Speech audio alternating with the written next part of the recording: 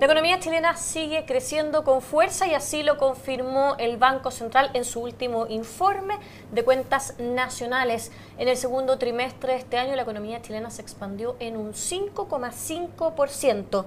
Para analizar estas cifras y las incógnitas de una economía chilena en un año particular, estamos con el economista y socio de Forecast, Ángel Cabrera. Ángel, muchas gracias por esta entrevista en DFTV. Gracias a ustedes por la invitación, Francisca. A ver, en lo que va del año, también según este informe, tuvimos un 5,5 en el segundo trimestre, lo que nos da un acumulado de un 5,4%, muy por sobre las expectativas del último IPOM del Banco Central, donde se proyecta una expansión de, entre un 4 y un 5% para este año. ¿Cómo van a ser entonces los meses que vienen? Bueno, en el segundo semestre se espera una disminución en el ritmo de crecimiento de la economía chilena sin embargo, en gran medida esa disminución va a estar asociada a fenómenos estadísticos. Eh, fuertes efectos negativos por menos disponibilidad de días hábiles, especialmente en septiembre, noviembre y diciembre, y también algunos efectos de base de comparación que, de acuerdo a los cálculos que nosotros manejamos, harían que la tasa de crecimiento en el segundo semestre se redujera al rango entre un 3,5 y un 4. Ahora, eso en rigor no significa que la economía chilena vaya a disminuir su ritmo de crecimiento verdadero, el, subyacente, sino que producto de estos fenómenos estadísticos vamos a tener una cifra menor. Pero en rigor la economía va a continuar creciendo a un ritmo cercano al 5% en términos subyacentes. A ver, según el informe que entrega el Banco Central, es la demanda interna el gran responsable de esta expansión. ¿Es sostenible esto, más allá del dato estadístico, es sostenible esto, dado que también estamos enfrentando una coyuntura bastante compleja fuera del país? Mira, la verdad es que en principio yo te diría que sí, los niveles de inversión en torno al 8% es un, ritmo de crecimiento de la inversión eh, al que debe aspirar una economía como la chilena, que, cuyo crecimiento potencial es cercano al 5%. Y por el lado del consumo estamos con niveles de desempleo que son mínimos históricos, el último dato de junio fue un 6,3% corregido por estacionalidad, que es lo más bajo que hemos tenido eh, al menos en los últimos 30 años.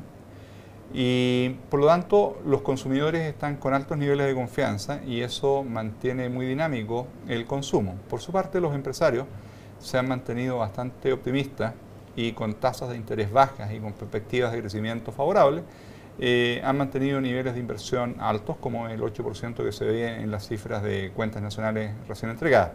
Por lo tanto, yo te diría que crecimientos similares a los que vimos ahora son perfectamente sostenibles. Ahora, sí es verdad que producto de la crisis internacional en curso, existe el riesgo de que en los próximos 6 a 12 meses la economía chilena pueda tener algún impacto producto de no estamos aislados y se ha dicho un montón eso. No, definitivamente no estamos aislados y eh, va a ser clave lo que ocurra con los precios de nuestros productos de exportación y con los volúmenes de esas exportaciones. Bueno, a propósito de lo mismo, también en este informe de cuentas nacionales se muestra que las exportaciones crecen en el segundo semestre solo un 1,2%, mientras que en el trimestre anterior crecen un 5,6%. ¿Cómo se ve esto? Y también considerando que Europa, que es nuestro segundo socio comercial, y China, que es el primero, están China entrando en una fase de desaceleración controlada y Europa con una crisis que todavía se dice que no ha tocado fondo. Eso es completamente correcto. Eh, la situación de Europa es muy, muy delicada y la economía china está experimentando una desaceleración significativa que seguramente se va a intensificar durante la segunda mitad del año. Dado eso, nosotros esperamos ver algún impacto adicional tanto en precios como en volúmenes de exportación, lo que probablemente nos va a costar algunas décimas de crecimiento, pero más que este año, yo diría que los efectos van a sentirse en 2013.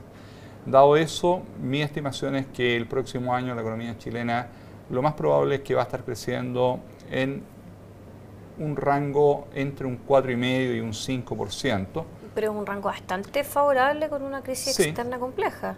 Sí, porque afortunadamente, si bien la situación internacional hoy día es delicada, no es ni remotamente cercana a lo grave que fue en 2008-2009. ah, en 2008-2009 tuvimos la peor recesión en 70 años. Hasta ahora estamos bastante mejor que en esa oportunidad. ¿Qué pasa con el empleo? Eh, algunos de estos sectores, los sectores exportadores dan gran cantidad de empleo y si es que empiezan a caer los precios y empiezan a caer las demandas internacionales, ¿qué va a pasar con la recuperación de sus puestos de trabajo o con la generación de puestos de trabajo que, se dan? Eh, bueno, la generación de empleos ha sido extraordinariamente sólida durante los últimos dos años y medio. Tenemos una creación de cerca de 750.000 empleos desde comienzos del 2010 en adelante. Eh, en este año, en los primeros seis meses, tenemos una creación de 188.000 puestos de trabajo. Por lo tanto, la creación de empleo está muy firme. Ahora, en la medida de que la situación internacional impacta al sector exportador, podríamos tener algún, algún daño en ese ritmo de creación de empleo en los próximos 6 a 12 meses. A pesar de eso, las estimaciones que nosotros manejamos apuntan a que eh, el próximo año la creación de empleo debiera estar entre unos 200 y 250 mil empleos año. Es decir, usted se muestra bastante optimista con respecto a las cifras. Sí, definitivamente yo soy bastante optimista respecto al estado actual de la economía chilena. Creo que la economía chilena está muy sólida. Eh, tenemos una situación y una conducción macroeconómica de primer nivel. Hemos generado una serie de fortalezas que nos permiten, si no aislarnos, sí mitigar en buena forma los impactos negativos provenientes del exterior. Así que en ese sentido yo estoy optimista. Reconozco, eso sí, que ante un escenario de agravamiento de la situación internacional que se traduzca en una crisis más severa, eh, que pudiera llegar a ser similar a la que vimos en 2008-2009, bueno, en ese escenario ya la situación cambia. Eh, Pero no es el escenario base. No, no es el escenario base.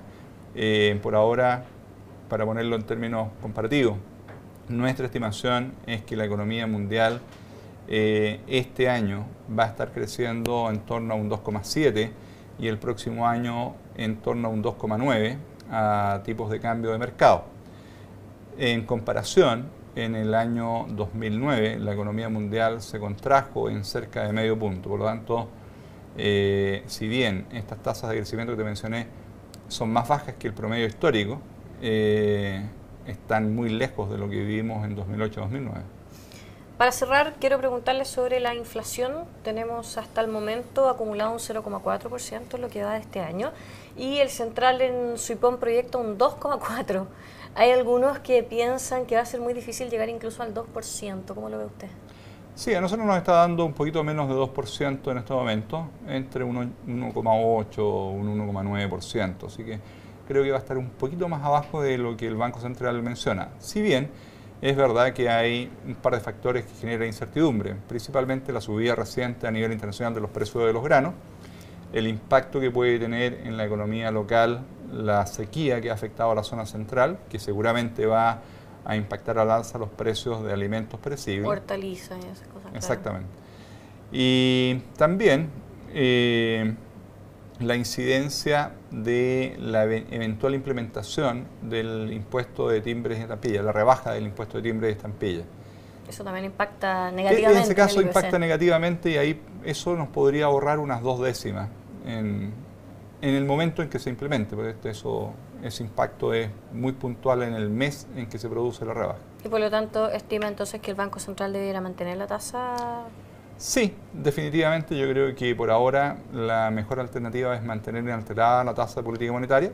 Yo creo que esa va a ser la situación en los próximos meses y solo ante un deterioro grave de la situación internacional eh, veríamos una eventual rebaja de la tasa de política. ¿Usted no ve un incremento entonces? Incremento por ahora no, definitivamente no. En las condiciones de incertidumbre y con las cifras de inflación actuales, no, no.